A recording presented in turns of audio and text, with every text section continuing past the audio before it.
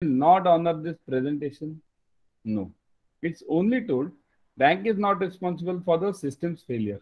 But once it resurrects, means the systems come to come in place again, then is it told that banks will not check? Banks will have to check under EUCP. Okay.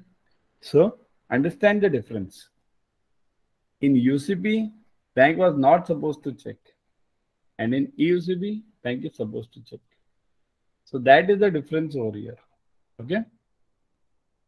So there are only 14 articles over here. You have got all, you have got these. See here, EUCP is quite easy. Only direct questions would come to you.